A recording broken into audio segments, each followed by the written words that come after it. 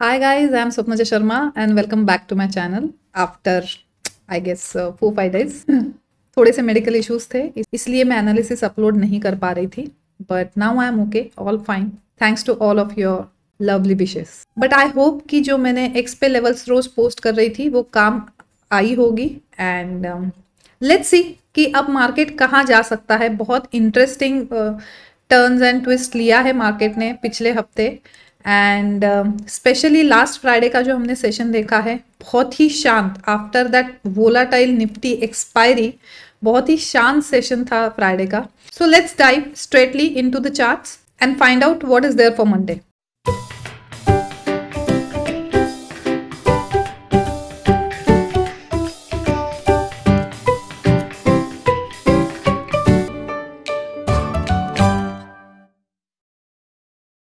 let's start with daily daily में exactly exactly क्या हुआ है? एक 24853 की लेवल थी और ये जो लेवल आई थी, ये पिछले स्विंग पॉइंट से आई थी ये लेवल जो चार्ट पे भी मार्क थी। और थर्सडे के दिन after such volatile Thursday exactly क्या हुआ है? हाई यहाँ पे उसने बनाया है। ऑफ़ कोर्स उसका लो काफ़ी नीचे है। और लास्ट फ्राइडे को मार्केट ने एक इनसाइड बार कैंडल बनाई है। सो so बेसिकली अब जो एक नेक्स्ट लेवल था, अब of course twenty four six hundred के बाद अगर कोई हर्डल था, वो 24853 के आसपास था। हो सकता है अभी आने वाले एक दो दिनों में मार्केट यहाँ पे इस पर्टिकुलर लेवल पे और कंसोलिडेट हो ओके बट अब 15 मिनट टाइम फ्रेम पे आते हैं एंड लेट्स सी कि एग्जैक्टली थर्सडे को हुआ क्या है। ये जो एक वोलाटाइल मूव फ्राइडे के दिन आई थी, ऊपर जाके एक सडन प्रेशर मार्केट ने एक्सपीरियंस किया था। और अगेन फिर से एक बाइंग आई थी। उसके बाद जो है मार्केट एकदम से बिल्कुल शांत हो गया है। थर्सडे के दिन बिल्कुल भी ज़्यादा एक्टिविटी नहीं करी बट समहाउ अगेन जो है ट्रेडिंग थोड़ा सा सिंप्लीफाई करके गया है। So just will mark these levels तो ये जो एक ट्राइंगल फॉर्मेशन करके गया है ट्वेंटी फोर सिक्स फिफ्टी उसका बेस है और यहाँ पे कहीं ना कहीं उसका एक ट्रेंडिंग लाइन है। तीनों सिनारियो के बारे में बात करते हैं। अगर फ्लैट ओपनिंग होती है between in these two lines तो वही है कि जहाँ भी एक ब्रेकआउट देगा, यहाँ पे ब्रेकआउट देता है नीचे की तरफ़। तो ये जो एक लो लगाया था ट्वेंटी फोर फाइव हंड्रेड के आसपास फ्राइडे के दिन, बिल्कुल टच हो सकता है। और अगर यहाँ पे ऊपर की तरफ़ ब्रेकआउट देता है तो इवेंचुअली जो एक हाई लगाया है 24 मोटा मोटा 24,900 के आसपास का यहाँ पे तक के मार्केट बिल्कुल जा सकते हैं। सो एज लॉन्ग एज ये 24,650 के ऊपर सरवाइव होता है तो चांसेस क्या है? चांसेस बिल्कुल है कि ये सेलिंग जोन के आसपास फिर से जा सकते हैं। But at this selling zone हम फिर से एक बारी प्रेशर एक्सपेक्ट कर सकते हैं।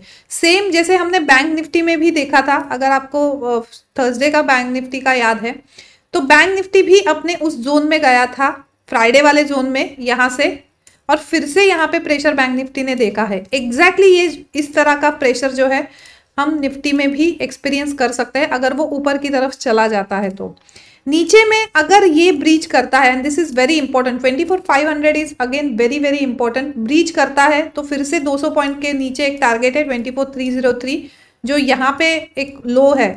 जो यहाँ पे ट्वेंटी फोर थ्री थर्टी से लेके twenty four three zero three का ये पैच है यहाँ तक इवेंचुअली मार्केट आ सकता है और एक अच्छी खासी मूव देखने को मिल सकती है। फ़िलहाल जो है twenty four three zero three एक बहुत इंपॉर्टेंट सपोर्ट है और इसके नीचे फ़िलहाल मार्केट जाता हुआ नहीं देख रही हूँ मैं।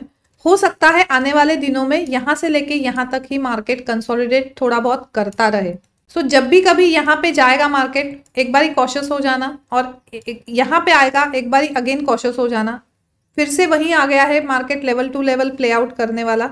सेम यही चीज़ हम सेंसेक्स में देख सकते हैं। सेंसेक्स में भी ट्रायंगुलर फॉर्मेशन बना है। ऊपर जाता है तो वी हैव अवर लेवल्स नीचे आता है तो ये बाइंग जोन यहाँ से एक बाउंस एक्सपेक्ट कर सकते हैं। बट ये ब्रीच होने के बाद एक बहुत अच्छी खासी ट्रेंडिंग मूव हम सीधा 8650 के आसपास तक की देख सकते हैं। स्पेशली जब यहाँ से जो बाइंग आई थी उसके ओरिजिन के आसपास वो आ सकता है और बहुत स्विफ्टली आ सकता है।